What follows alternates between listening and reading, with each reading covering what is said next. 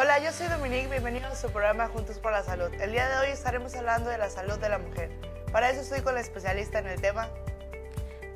Buenos días, soy la doctora Carla Evis Franco Tomás, responsable estatal del programa Cáncer de Mama de la Secretaría de Salud. Vamos a hablar un poquito más del tema. ¿Qué es el cáncer de mama? Bueno, el cáncer de mama es el crecimiento eh, desordenado de lo que son las células de la glándula mamaria. Estas se puede, pueden invadir a lo que es este, la circunferencia de la mama o se pueden expandir a lo que es este, otras partes del organismo, que es a lo que se le llama metástasis. Ok, ¿cómo puedo prevenir esta enfermedad? O sea, ¿hay alguna manera de revisarme, de cómo le hago? Ok, eh, el cáncer de mama es una patología que realmente no es prevenible, sin embargo existen factores de riesgo que podemos evitar. Entre estos, este, el principal factor de riesgo es ser mujer. Otro de los grandes factores de riesgo es que el cáncer de mama va aumentando conforme a la edad. Entonces, estos son dos factores que no podemos modificar, sin embargo, hay factores que podemos modificar como es el estilo de vida, el no tomar, el este, evitar el fumar, el dar lactancia materna, son como factores protectores que nos van a ayudar de cierta manera a poder prevenir el cáncer de mama. No sabía lo de la lactancia materna, qué interesante. Eh, ¿Qué es lo que lo origina realmente? O sea, ¿por qué esa enfermedad se desarrolla? Eh, no hay una teoría como tal que diga eh, por esto se ocasiona el cáncer de mama, esto es lo que este, si tú haces esto, dejas de hacer esto, te va a ocasionar cáncer de mama. Sin embargo, como te decía, lo que debemos eh, hacer es cuidar los factores de riesgo que tenemos. ¿Hay síntomas de esto? O sea, una vez que ya desarrollé a lo mejor la enfermedad, que no me hice, bueno, también me podrías decir cómo puedo explorarme tal vez o cómo es para, para saber si tengo la enfermedad. Ok. Eh, tenemos principalmente eh, dos eh, áreas de tamizaje que son las que nos van a ayudar a detectar un, un, cáncer a tiempo. La primera es la exploración clínica de mama. Esta se realiza en mujeres de 25 a 39 años de edad. debe de ser de manera anual y debe ser realizada por un personal de salud capacitado y la segunda es la mastografía que se realiza en mujeres de 40 a 69 años de edad. Eh, esta se realiza cada dos años en instituciones que tienen mastógrafos y el personal igualmente capacitado. Ahora, cuando hay algún síntoma, después de hacerme esas exploraciones o algo que son rutinarias, o sea, debemos de tenerlas cada cierto tiempo, ¿Hay algún síntoma del cual a mí me diga, me prende el foco de riesgo? Claro que sí, hay síntomas. Por ejemplo, eh, en primera, la simetría de los senos. ¿no? que uno esté más grande, que otro esté más chico, podemos ver este, secreciones del pezón, pueden haber este, eh, edema o lo que se le dice comúnmente como piel de naranja en el seno, puede haber este, alguna tumoración o bolita Mm, esas son en general las más frecuentes. Sin embargo, existen otras o muchas veces no se presenta ningún síntoma y por eso se realizan este tipo de, acciones como la exploración clínica y la mastografía para darnos cuenta de lo que está pasando en el, en el seno de la mujer.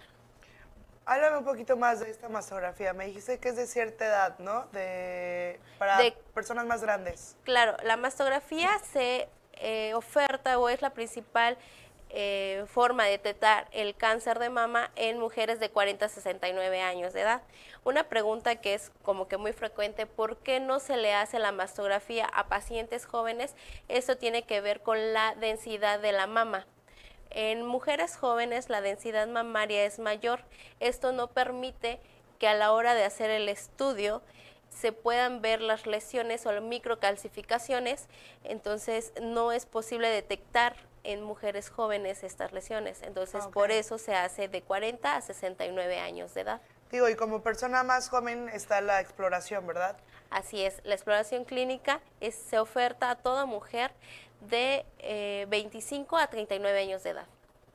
Digo, como mujeres yo creo que normalmente nos vemos al espejo y eso que estás hablando de la simetría, o sea, de como que puedes presentar cosas físicamente, creo que podemos prevenirlas viéndonos desde el espejo o simplemente haciendo la autoexploración también, que creo que no hemos tocado ese tema. Ok, eh, sí, también tenemos lo que es la autoexploración. Esta es eh, enfocada principalmente a mujeres a partir de 20 años de edad. Eh, esta se debe de realizar una vez al mes. se debe establecer un día como tal para, para realizarla. Puede ser el, a los siete días de que nos termina la menstruación y este, realizarlo frente al espejo, en el baño, revisando este, los senos, ¿no?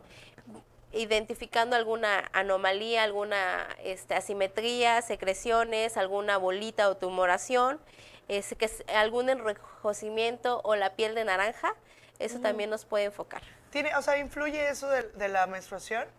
Eh, muchas, no lo sabía. muchas veces lo que hay en, la, en, el periodo menstrual es que las glándulas mamarias se inflaman.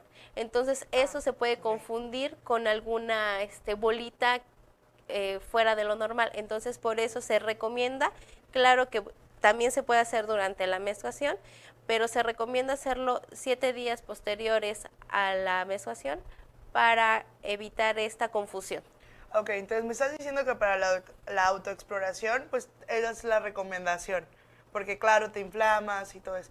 ¿Hay alguna recomendación para hacerte la exploración y la mastografía? Para la exploración clínica es igual, acudir de preferencia eh, de 7 a 10 días posteriores a la menstruación y únicamente. Para la, para la mastografía debemos acudir preferentemente sin lo que es este bañadas, sin talco, sin cremas, desodorantes, eh, generalmente en ropa, vestimenta de dos piezas, lo que puede ser blusa, pantalón o blusa falda para comodidad de las pacientes y únicamente eso sería todo. Ok, entonces estamos hablando de que personas más de 20 años pueden realizarse la autoexploración. De 25 años a 39 años la exploración y de 40 años a 69 años, la, la, mastografía, ¿verdad? Así es. Ok, y tener pendiente estas recomendaciones para pues, que los resultados sean los buenos. Bueno, tenemos actualmente en el estado dos UNEMs de DICAM, que son este, unidades especialidades para de patología mamaria, en la que nos ofrecen el servicio de la toma de mastografía gratuita y este, en caso de que requiera confirmarse o descartar el diagnóstico, también ahí nos van a tomar lo que es la biopsia. Ok, pero ¿en dónde se encuentran? Ok, tenemos una UNM de DICAM aquí eh, en Chetumal y tenemos una UNM de DICAM Cancún. Y eh, también tenemos el servicio de otros mastógrafos que se encuentra uno en Playa del Carmen, otro en Cozumel y para la zona Maya tenemos mastógrafos en José María Morelos y Felipe Carrillo Puerto. O sea, prácticamente estamos hablando que hay en, todo el estado tienes la facilidad o el acceso para esto, ¿verdad? Así es, así que no tenemos el pretexto de que está lejos o no puedo acudir a un centro para que me hagan la mastografía.